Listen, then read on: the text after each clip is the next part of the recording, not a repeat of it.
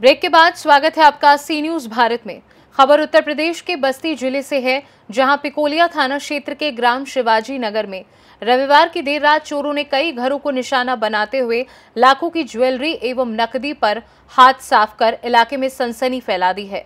इस घटना की जानकारी होते ही पैकोलिया थाना पुलिस ने घटनास्थल का निरीक्षण किया और चोरों की गिरफ्तारी के लिए जुट गई।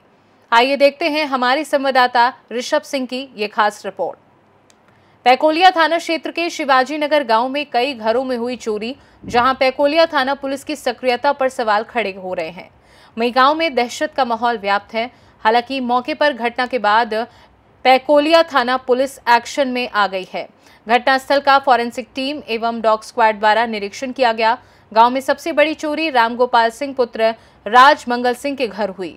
चोरों ने उनके यहाँ से अलग अलग जगह पर रखे हुए लगभग एक लाख नकदी सहित अलमारी को सेफ़ तोड़कर लाखों के गहने एवं अन्य कीमती सामानों पर हाथ साफ़ किया है।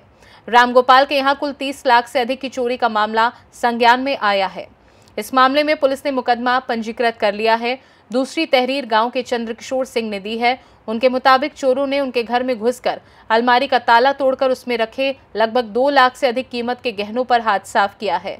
इसके अलावा अन्य घरों में चोरों ने ताले तोड़े हैं, किंतु पुलिस के पास दो लोगों की पहुँची तहरीर के आधार पर मुकदमा दर्ज कर कार्यवाही की जा रही है। नमस्कार, मेरी सब रिजवंशी ब्यूरो चीफ बस्ती, में आया हूँ इस समय उसका कलहंस में।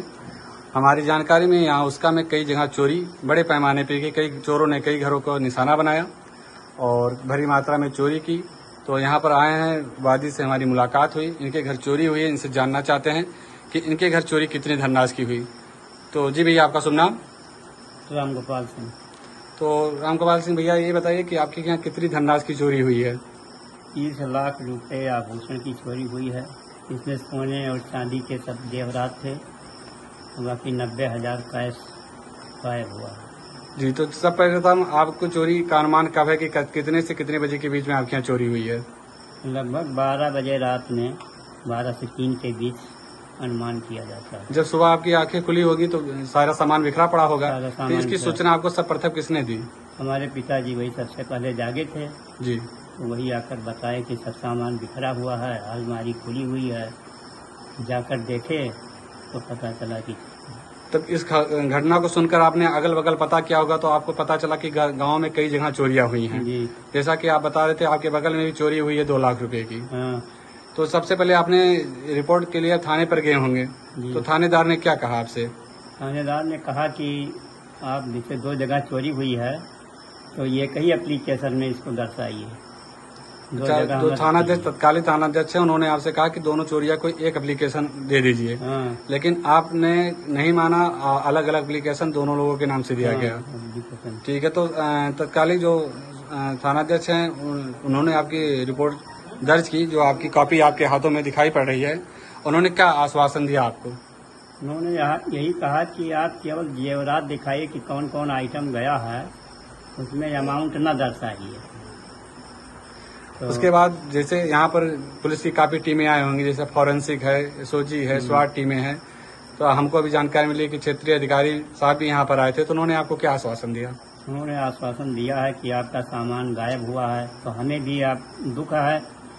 और हमारे अंदर खलबली जब से हम सुने हैं तब से हम परेशान हैं शीघ्र ही इसका पता लगाएँगे। तो क्षेत्रीय अधिकारी द्वारा दिया गया आश्वासन से आप संतुष्ट हैं? जी। कि जल्द खुलासा होगा हाँ जल्द खुलासा। जी भैया धन्यवाद। जैसे कि हमको सूचना मिली है कि उसका कलहंस में एक बड़ी चोरी हुई है। चोरों ने कई घरों में घुसकर ताला तोड़कर चोरी किया है।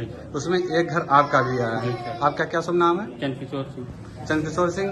जी ये बताइए कि चोरों ने किस मार्ग से आकर आपके घर में अंदर एंट्री की? पीछे से सर जो लेटिंग बना है जी। उस पर उस पर चढ़े हैं फिर वहाँ छज्जा जो खिड़की का है उस पर चढ़ करके तब छत पर चढ़े हैं सर। तो किन किन वस्तुओं की चोरी की कितने पैसे लेकर गए? कुछ अनुमानित धनराशि? सर कान कान का बाली झुमका चैन और पायल बिछुआ कई सामान सब चैन सब लेकर गए हैं सर। तो आपने जब चोरी की लगभग अनुमानित समय होगा कि कितने बजे तक चोरी हुई आपके यहाँ? कुछ जानकारी है आपको? सर एक बजे हम बाथरूम करने उठे थे। जी। तब सही था।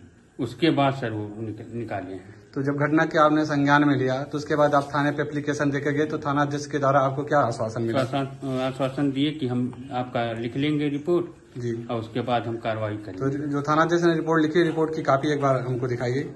जी जी सर। तो ये रिपोर्ट की कापी है और जो हमारे उसका के बाबू साहब है उनके द्वारा उनके घर चोरी हुई है। इस घटना को हम आए थे यहाँ पर जाँच करने। जी जी। तो आश्वासन मिला है कि जल्द से जल्द चोरों का पता लगाया जाएगा। जल्द से जल्द हम लोग पकड़ लेंगे। ठीक है धन्यवाद भैया। फ़िलहाल इस खास रिपोर्ट में बस इतना ही। देश दुनिया की बाकी खबरों को जानने के लिए आप देखते रहिए सी न्यूज़ भारत।